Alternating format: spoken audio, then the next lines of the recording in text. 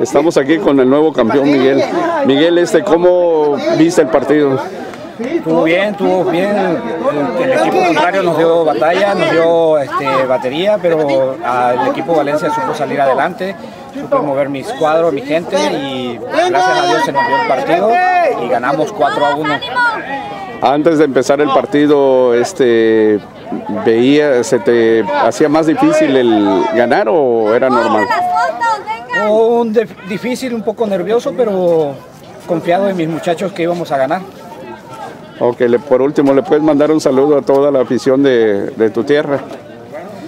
No, pues saludo a todo, pues a todo, todo Acapulco, gracias a mi equipo Valencia, gracias a la porra también. Es todo, gracias a todos.